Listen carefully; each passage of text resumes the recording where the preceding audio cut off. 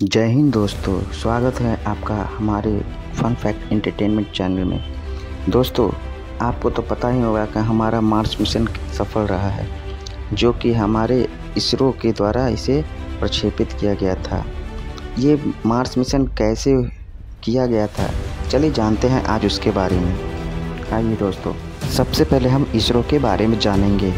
इसरो दुनिया की सबसे अच्छी सैटेलाइट लॉन्च स्पेस एजेंसी है, क्योंकि इसरो खासकर अपनी तकनीक और अपने सस्ते तकनीक के लिए जानी जाती है। इसरो किसी भी मार्स मिशन हो या मंगल मंगल मिशन हो, चाहे चंद, चंद्रयान मिशन हो, वो कोई भी मिशन हो, उसे वो तकनीकी रूप से सफल बनाती है। इसरो किसी भी तरह की जटिल स्पेस मिशन को सस्ते दरों पे करने के लिए जानी जाती है। जैसे कि मार्स मिशन। जी हाँ दोस्तों, वैसे नासा भी है जो इन मिशनों में लगा हुआ है। चाइना का भी अपना मिशन है। सभी देशों की कंट्रियाँ अपने अपने मिशन में लगे हुए हैं। लेकिन इसरो की बात करें तो ये जटिल स्पेस मिशन को कम लागत में करने के लिए जाना जाता है। और इनफैक्ट नासा भी इसरो की मदद ही लेता है। अपने सैटेलाइट लॉन्च करने के लिए।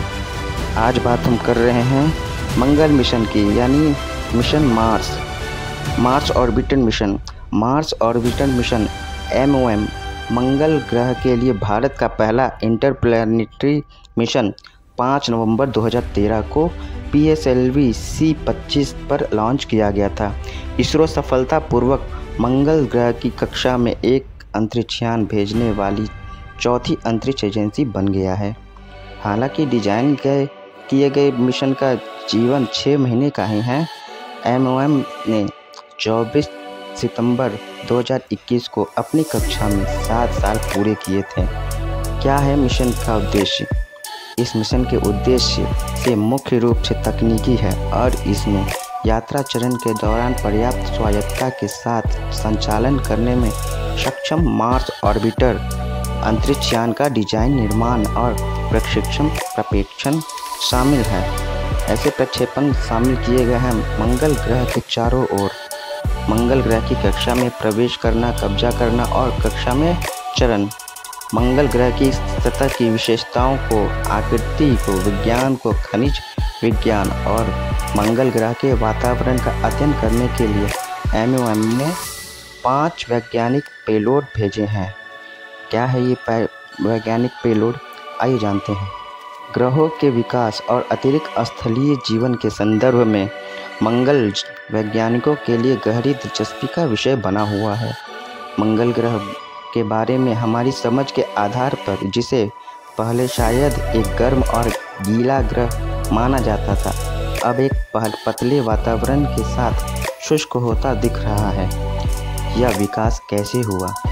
यह सभी भी शोध का विषय है। इस पृष्ठभूमि में भारतीय मंगल कक्षित मिशन में ऐसे ही पाँच वैज्ञानिक पेलोड को वहन किया गया है।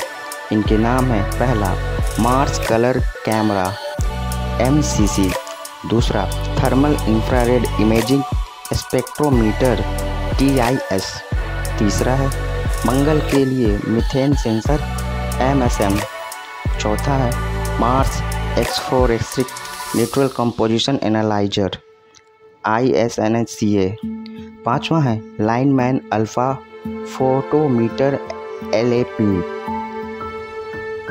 क्या है Mars colour camera Mars colour camera आठ जी बी बायर पैटर्न के साथ एक बहुमुखी और बहुउद्देशीय स्नैपशॉट कैमरा है, जो मंगल पर विभिन्न रूपात्मक विशेषताओं को मैप करता है।